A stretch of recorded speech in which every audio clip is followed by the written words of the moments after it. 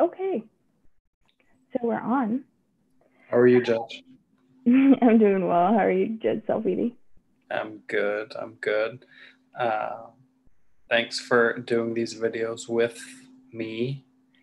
Um, and uh, I'm excited. Yes, this is something different. I know that typically being on the bench seems a little bit easier to talk to people, but it seems that our current situation of COVID isn't it allowing us an opportunity to connect with, you know, the private bar, pro se litigants, and the general public. So I thought this would be a good idea. So I think it's a great idea. I'm excited to participate, and uh, I'm here to help in any way I can. So, for those of you that don't know, my name is Gloria Lopez. I am the judge in the 308 Family District Court, and this is my associate judge, Ryan Salfidi. So, welcome on this weekend before June 1st. We just got the news this weekend that certain things are going to start to evolve and change, and slowly but surely, we're going to try to provide some help and hear some trials in front of the judges in the court. So we're here to kind of answer some of the frequently asked questions without actually having a public, but we can discuss the 308 and probably give you some insight as to what changes have occurred, what changes are going to stay for the month of June, and what to expect for June of 2020. So we have a lot of changes coming up, but they're exciting changes, and I think they are changes that is going to allow the private bar and the court staff um, and you know Judge Lopez and I all remain safe and social distance and try and get cases heard at a faster pace than we have been doing uh, in the past couple months. Of course, I mean the goal ultimately is to make sure that all of us are safe and healthy and that your families remain safe and healthy as well. So the risk of exposure is something that we have been cognizant of since March. I can't believe it, since March. March 12th is when everything kind of moved so quickly, and now we're approaching June on Monday. So a lot of changes have happened, and the these couple videos, videos, I'm sorry, there goes my accent, right? these couple videos are just going to give you some insights of only the 308 and what's going to happen for the month of June of 2020. If things start changing, and I'm positive they will, because everything is moving so quickly and changing and evolving, um, we're going to update you and provide you those changes. So, so first topic. Yeah. All right. First topic, I think we should talk about virtual dockets because that's definitely something new that hasn't happened at all in the 308. So virtual dockets are what, Judge Salfidi? So virtual virtual dockets are exactly like docket calls as if you are in the courtroom. Um, we have it set up to where either Judge Lopez or myself, depending on who you are scheduled with, will go live at nine o'clock and we will go through a list of cases that are on the virtual docket for that morning. So um, it is important to make sure everybody is noticed for what a virtual docket is. Uh, Judge Lopez, can you explain more if I'm missing anything? Yeah, so it's just like you stated, it's exactly as though you were in the courtroom. It's a virtual courtroom that's going to be conducted virtually. So the docket will also be done virtually. Now, unfortunately, we are going to limit the number of cases at the beginning of June, and we're going to slowly but surely evolve to possibly handle more cases as the month goes on. But bear with us, this is also new for us. This is something we're trying to implement to add to the options that we currently have. For example, submission docket, right? Submission, you draft your motion, you submit it, people respond, and then the court rules. I understand that people learn differently, so they practice differently. There are certain lawyers and also pro se litigants that possibly don't find the submission docket to be their favorite. So maybe you want to set for a virtual docket the motion to appoint an amicus, and it may be a five to 10 minute thing that you just approach the judges virtually with the opposing counsel or all necessary parties, and you can get that motion heard and get a ruling from the court quickly and expeditiously.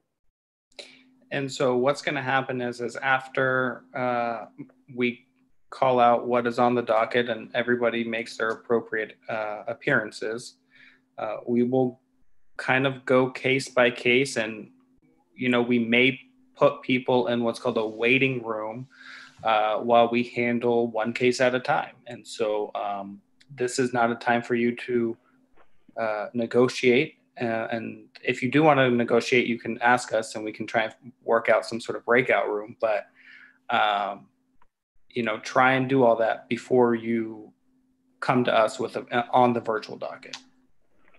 I am fully aware of the fact that as attorneys, sometimes when you approach court or you show up to court for docket call, it may be the very first time you meet a lawyer or have contact with a lawyer or a pro se litigant. So it may be that you have not had an opportunity to negotiate, to discuss things. So breakout room will be an option. Now, again, this is all new. So how it's going to happen and how you can get that done may be very rocky at the beginning. But with communication, we can get through it. If you can just let the presiding judge of the virtual docket know, Judge, we would wish to have a virtual uh, breakout room with all necessary parties, and then we can submit you to this essentially what would be the attorney ready room in the courtroom.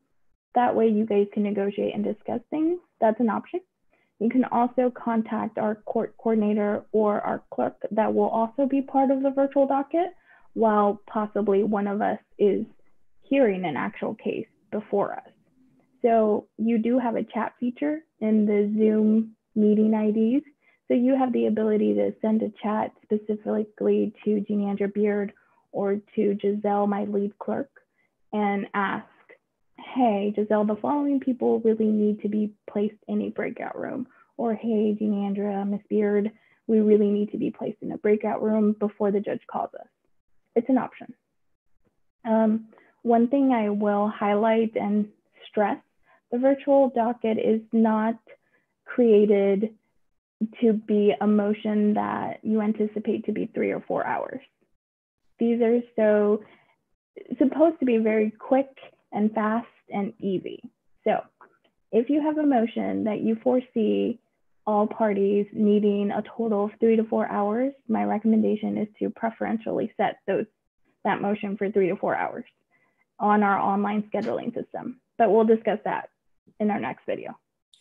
Any other tips or insight, Judge Salfidi, that you may want to provide to people about virtual dockets? And just so everybody is aware, um, it's easy to get a virtual hearing, um, but you do need to have your motion filed first. So, whatever you are trying to get done on the virtual docket, you need to have your motion filed first. So, that way we can properly set uh, what it is that is being set for that day. Yeah, it's similar to being in our regular old school docket. If you wanted to obtain a hearing date for a docket call, typically you would call the court after you filed a motion. It'd be similar to a virtual docket. File your motion, and then after you file that motion, go online and schedule the dates you would like to appear for that virtual docket. So Judge Salfidi, what type of motions or ancillary matters do you believe could be accommodated in a virtual docket? So you mentioned a motion to like appoint an amicus, um, uh, a motion for to waive an ad litem or a motion to appoint an ad litem. If you see that we've denied it in the docket entry, um, you can approach on the uncontested. Um, short hearings like that, um, even things such as um, if you think you're going to have a quick prove up or something quick like that, uh, a motion to appoint a mediator, we can handle those quickly in a virtual docket.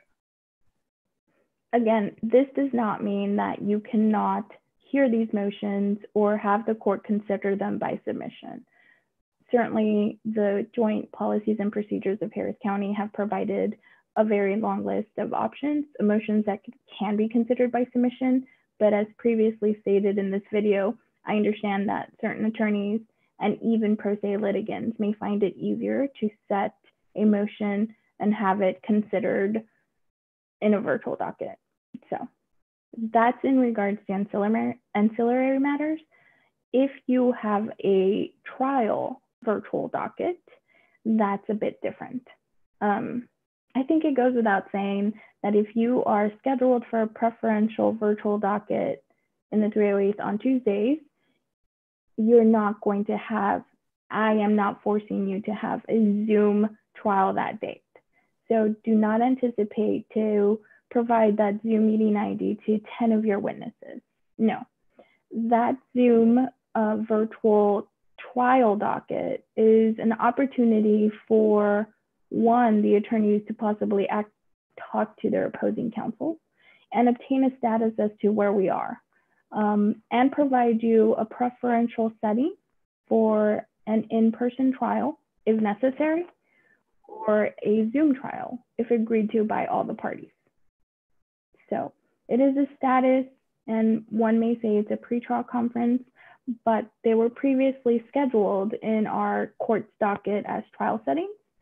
So be prepared to appear and provide the court the status of your trial or your case, I'm sorry. And if you're ready to go, then great. That just means that it provides the court the opportunity to preferentially set you in person and to stagger the witnesses and how many witnesses you have when they will come in. That way we cause less contact or less people to come at the courthouse all at the same time. Anything else you can think of? Uh, for these topics, no. All right. So that concludes our first video regarding virtual dockets in the 308. I know it seems like a lot of information. I know that this is all very new. I promise you it's going to be rocky at the beginning, but it be, may be something that we like. And if not, at least it's a nice little band-aid for now. So thanks for watching and stay tuned for other videos regarding other topics or frequently asked questions in the 308.